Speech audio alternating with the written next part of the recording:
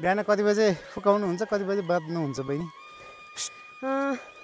बाह्र बजीतिर ल्याएँ अँ। तिन बजी लगिहाल्छु आज। ए।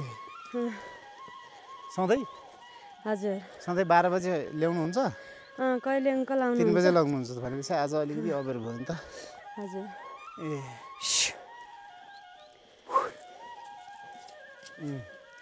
सधैँ खोलामा ल्याउनुहुन्छ? अँ पारी वनतिर पनि लिन्छौँ। अँ। हजुर।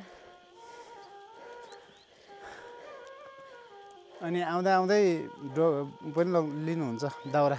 हजुर साथमा दाउरा घाँस लिन्छौँ। कहिले घाँस कहिले दाउरा? ए।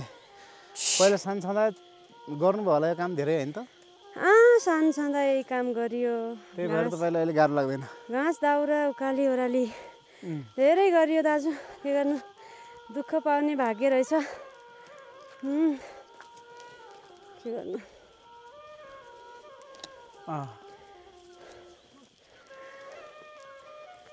क्या दामी न्याउली बाँसिरह न्याउली धेरै छन् यो जङ्गलमा। एउटा न्याउलीको बारेमा गीत गाउनुहोस् न त। न्याउली चरी भन्ने खालको के बोलको? न्याउली चरी भन्ने? अब के गीत गाइदिउँ त? तिमी भन्दा माइसो नि हो।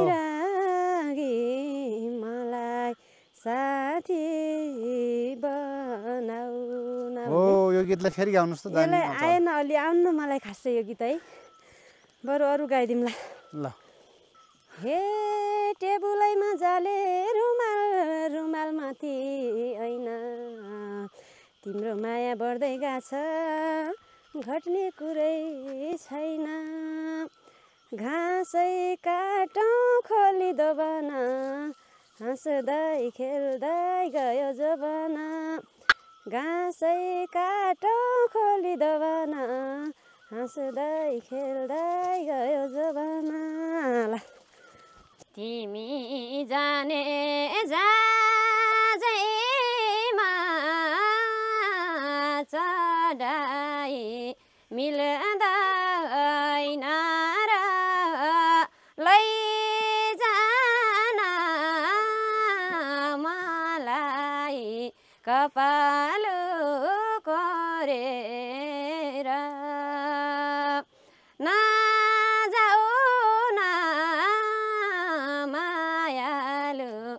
एक्लै छोडेर नजाऊ न मायालु एक्लै छोडेर धन्यवाद हामी सरस्वती उहाँको उहाँले काम गरिरहेको घरलाई पनि एकपटक देखाउन चाहन्छौँ यो उहाँले चराउने बाख्राहरू यहाँ छन् भने यो यहाँनिर चाहिँ तपाईँ देख्न सक्नुहुन्छ भैँसी छ एउटा। यो भैँसीको लागि उहाँले घाँस पनि काट्नुहुन्छ।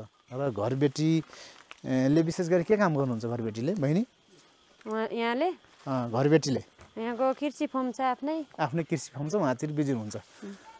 तपाईँलाई चाहिँ यहाँ तलब स्केल दिन्छु भनेर चाहिँ राख्नु भएको छ।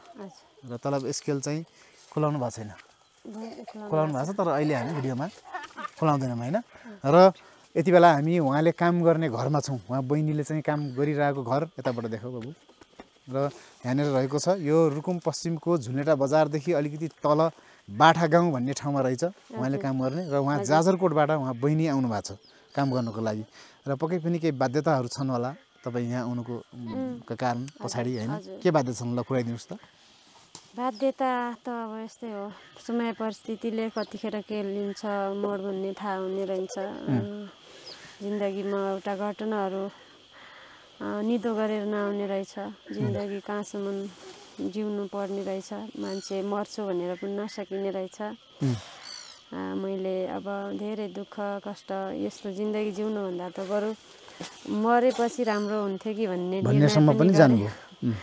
एकचोटि एकचोटि त्यो प्रयास पनि गरेँ पर बच्चाहरूले मलाई त्यो बाटो जान दिएनन्। धन कमाउने उद्देश्यले उहाँ दुईजना बुढाबुढी र बच्चा बच्ची लगेर इन्डिया जानुभएको थियो काम गर्नको लागि र काम गर्दै गर्दा उहाँको श्रीमानले चाहिँ अर्की श्रीमती लगेर फरार हुनुभयो। त्यसपछि उहाँ चाहिँ अहिले बेपत्ता अवस्थामा चाहिँ आइ पर्नुभएको छ यो बिजोको अवस्थामा आउनुभएको छ र यो अर्काको घरमा चाहिँ काम गर्नु परेको अवस्था छ होइन? अघि तपाईँले भनेअनुसार। र यस्तो बिजोग अवस्था छ र उहाँले चाहिँ मलाई फोन गरेर दाइ मलाई चाहिँ भिडियोमा लिनु पऱ्यो मैले धेरै मिडियासँग चाहिँ फोन गरेर कन्ट्याक्ट गरेँ तर कसैले चाहिँ फोन रिसिभ गर्नु भएन कसैले चाहिँ रेस्पोन्स दिनु भएन। तपाईँले चाहिँ मेरो गरिदिनु पऱ्यो भनेर चाहिँ धेरैचोटि उहाँले मलाई फोन गरेपछि म्यासेज गरेपछि आज म उहाँको अनुरोधलाई स्वीकारेर यहाँ आएको छु। उहाँले चाहिँ म पनि गीत गाउँछु दाइ मैले पनि एउटा चाहिँ गीत निकालेको थिएँ बजारमा। मेरो सानैदेखि सपना छ गीत गाउने भन्नुभएको थियो। र उहाँलाई आज चाहिँ विशेष गरी उहाँको आवाज चाहिँ प्रस्तुत गर्नेछौँ। आवाजमा चाहिँ गीतहरू प्रस्तुत गर्नेछौँ र उहाँका कथा व्यथाहरू पनि हामी प्रस्तुत गर्ने नै छौँ र अर्को गीत एउटा गीत चाहिँ सुन्छौँ बहिनीको आवाजमा। धन्यवाद।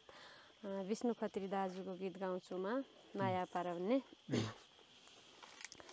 आँसुका मूल गइसके कि आउँछ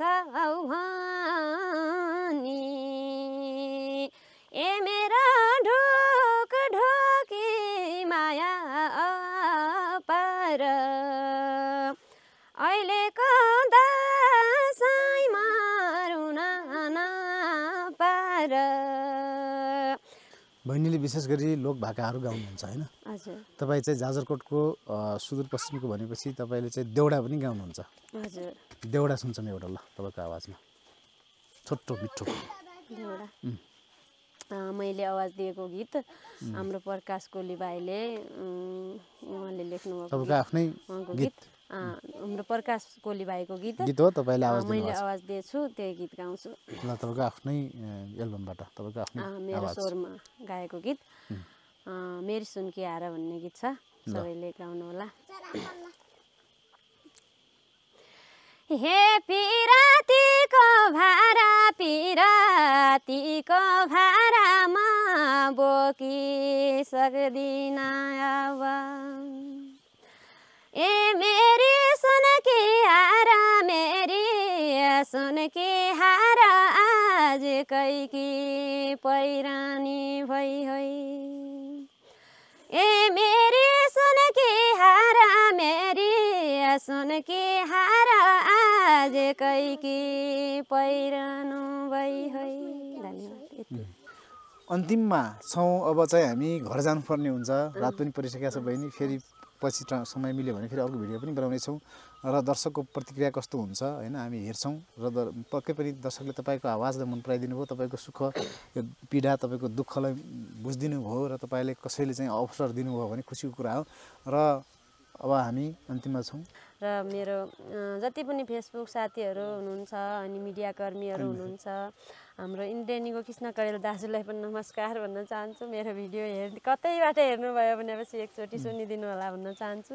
मेरो सपना भनेको सबैभन्दा म इन्द्रेणी जान पाएपछि मेरो अरू मलाई केही चाहिँदैन जस्तो लाग्छ आफ्नो आफ्नो एउटा रहर हुन्छ इच्छा हुन्छ र भोजराज दाईलाई पनि यही भन्न चाहन्छु। जसरी पनि हुन्छ मेरो भिडियो हेरिदिनु होला भन्न चाहन्छु। धन्यवाद। र अन्तिममा यो भिडियोलाई सबैजनाले एक सेयर र एक लाइक गरेर एक सेयर गरेर सबै धेरै सम दर्शक माझ पुर्याइदिनु होला भन्न चाहन्छु। हजुरहरूको एक एक लाइक कमेन्ट हाम्रो दर्शकहरू नै हाम्रो सबैभन्दा ठुलो सम्पत्ति हुनुहुन्छ है। उहाँहरूले गर्दा हामीलाई धेरै अघि पनि पुर्याउन सक्नुहुन्छ र उहाँहरूको हातमा छ सबै कुराहरू। बाँकी हजुरहरू आफै गर्नु होला है त। ल सबैजनाले एक लाइक र एक सेयर गरिदिनु होला। हस्त धन्यवाद।